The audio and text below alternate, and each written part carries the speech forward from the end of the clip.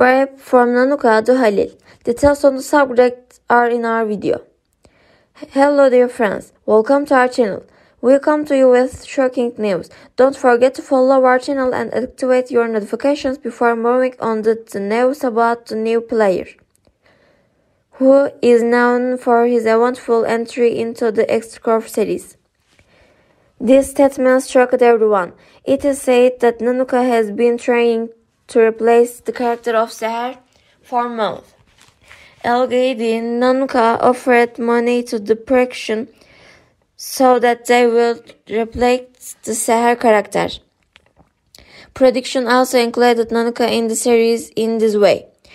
It has been cities cited as one of the biggest reasons for the eventful departure of the character of Seher. We wanted to convey what was said Evan told, told we did not assume that his will happen, because such a confession has not yet come. Come, well, friends, what would you like to say about this subject? Do you think such a thing could have happened and could Halil have remained silent about it? We are waiting your comments. Stay tuned. Don't forget to activate your notifications to reach new news quickly. Bye and stay tuned.